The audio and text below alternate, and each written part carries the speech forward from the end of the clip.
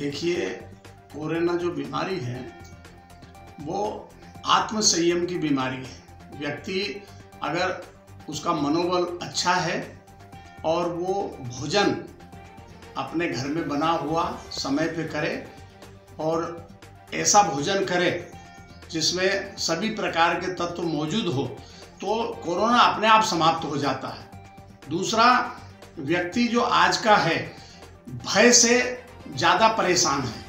Corona बीमारी कम है और लोग भयभीत ज़्यादा है। इससे डरने की आवश्यकता नहीं है।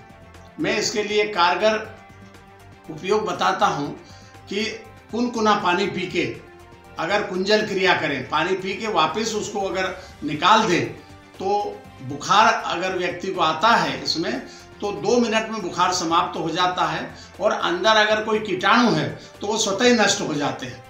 इसके साथ में मास्क पहनने का जो हर लोग बताते हैं तो मेरा लोगों से निवेदन है कि मास्क भी पहने पर उसको भी रोज धोएँ अच्छे पानी से और फिर उसको पहने। नाक से जो है, कीटाणु अंदर प्रवेश करते हैं, उनको प्रवेश न करने दें और भोजन इतना अच्छा करें ताकि वो कीटाणु अपने आप ही समाप्त तो हो जाए, उसके ऊपर वार करने से बच जाए।